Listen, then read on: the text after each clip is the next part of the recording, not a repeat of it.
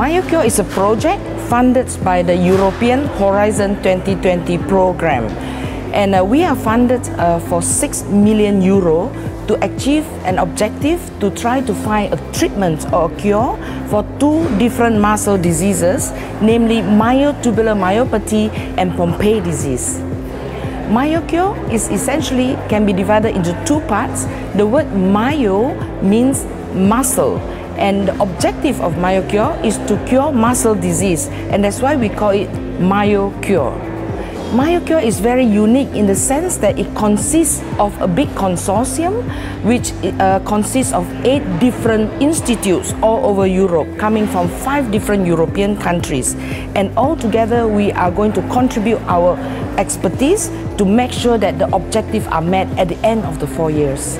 So my task as a coordinator is to make sure that we manage to disseminate all uh, our information to as many stakeholders as possible. But our really important final task is to make sure that the MyoCure objective is met at the end of the four years and we would like to get uh, approval from orphan drug designation so that we can move on to a phase one clinical trial to treat uh, the two diseases the main expertise of our institution, the Free University of Brussels, consists of developing what we call molecular turbochargers. These are like powerful engines that we need to boost the performance of our gene therapy.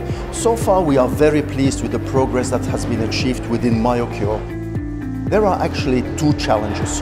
One challenge consists of delivering the therapeutic gene into the right target cell. And this is not so simple. You need to identify the right molecular key to open the door and we think we have found that key. The second thing is, once the gene is inside the cell, it has to do its job properly.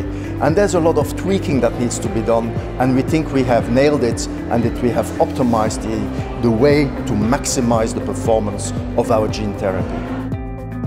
The next steps that we need to really focus on is to uh, improve the way that we manufacture these new therapies. This is challenging in its own right and it's going to be an essential step towards the uh, ultimate orphan drug designation uh, application for these particular gene therapies.